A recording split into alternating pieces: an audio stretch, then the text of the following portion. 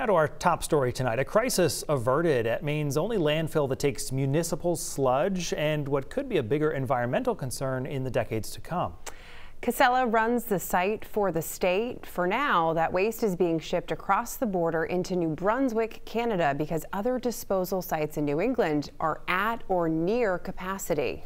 And as News Center Maine's Vivian Lee reports tonight, it appears the higher cost of sending those shipments to Canada will ultimately be passed on to ratepayers. David Hughes is the superintendent of the Scarborough Sanitary District.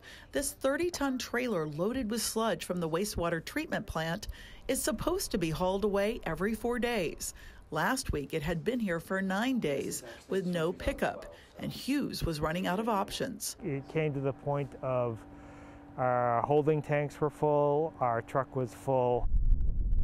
Casella Waste Systems contracts with Scarborough and 30 other municipalities to haul sludge to the state owned Juniper Ridge landfill. Last month, Casella significantly cut the amount of sludge it would accept at the facility because, it says, of concerns about the stability of a section of the landfill. The company blamed the crisis on two laws passed last year. The first, which went into effect last August, stopped the decades long practice of spreading sludge on farmland as fertilizer because of recent findings that it contained high levels of toxic PFAS chemicals. The second law, which went into effect this February, stopped the flow of bulk waste from out of state, like construction debris. Casella says the debris is needed to mix with the sludge to make the landfill stable. In terms of the short term emergency, that, that was caused by that instability of the landfill. I think we're past that. Wednesday, Casella officials told lawmakers sludge transports are back on schedule. Smaller amounts are going to Juniper Ridge, while much of it's being sent temporarily to facilities in New Brunswick, Canada. And that raises concerns for Adam Nordell with Defend Our Health. The farmer turned environmental advocate had to walk away from his grain farm, which was spread decades ago with PFAS tainted sludge. Is it getting composted and sold at that point? Is it getting land spread? Is it getting landfilled? And huge concerns remain about the cost of hauling sludge from Maine to Canada.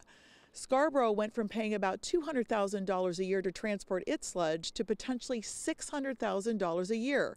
And that expense will ultimately have to be passed on to ratepayers. It's not something that, you know, we can absorb. We've been working incredibly hard to keep those costs as, as low as we possibly could.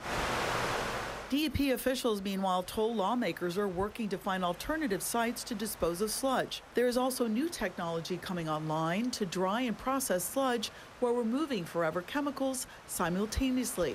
But to be able to, to change on a dime, it doesn't happen fast in this industry. Meaning a true long term solution could be years away.